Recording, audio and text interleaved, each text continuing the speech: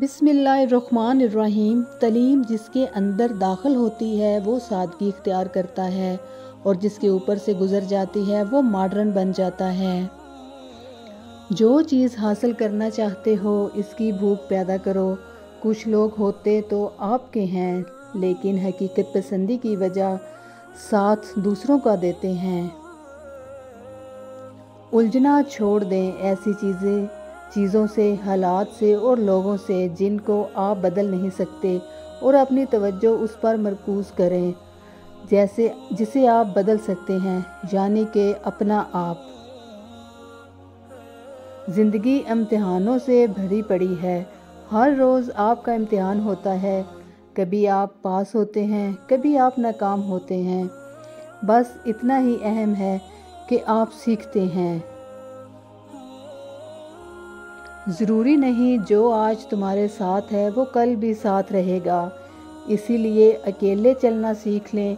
अगर वक़्त अपना है तो सब अपने हैं, वरना कोई अपना नहीं। जब देने वाला अपना हाथ पीछे कर ले तो लेने वाले पर भी फ़र्ज़ है कि वो भी पीछे हट जाए, चाहे वो वक़्त हो या फिर कुछ और।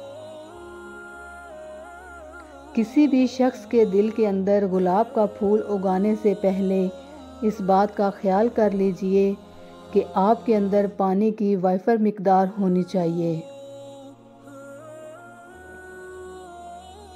अल्फाज चाबियों की मानद हैं।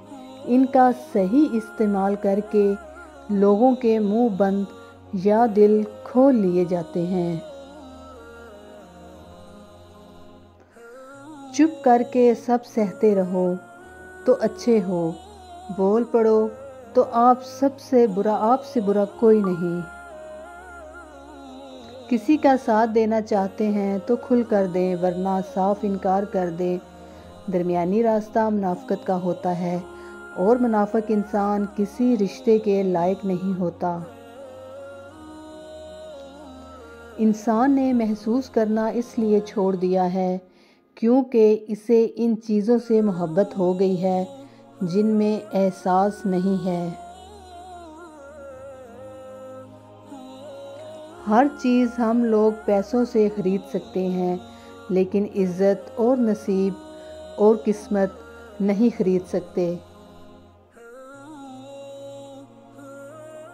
इंसान जब अपनी ख्वाहिशात और ज़रूरियात महदूद कर लेता है तो फिर उसे झूठ बोलने की ज़रूरत ही पेश नहीं आती।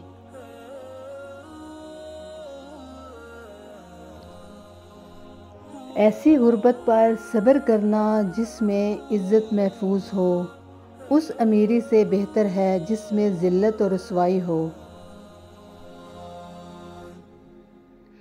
अगर आपके अंदर वो आवाज़ मौजूद है जो पुकार पुकार कर आपको बताती है कि ये चीज़ हलाल है और ये चीज़ हराम है। तो अल्लाह का शुक्र करें कि आपका दिल अभी ज़िंदा है। अकेले रहने से या अकेले होने से, किसी को खो देने से या टूट जाने से कभी नहीं घबराना, क्योंकि ऐसा होने से रब मिलता है। और जब रब मिलता है, तब सब मिल जाता है। कुछ लोग आपसे इतनी ही मोहब्बत करते हैं जितना वो आपको इस्तेमाल कर सकते हैं। जहाँ उनका मफाद ख़त्म हो, वहाँ इनकी मोहब्बत भी ख़त्म हो जाती है। जिस दिन तुम दूसरों का दर्द खुद पर महसूस करने लगो, तुम समझ लेना कि तुम अशरफुल मखलूक़ात हो। वालदेन की दी गई आज़ादी आपके पास एक अमानत है। इसमें कभी ख़यानत मत कीजिए।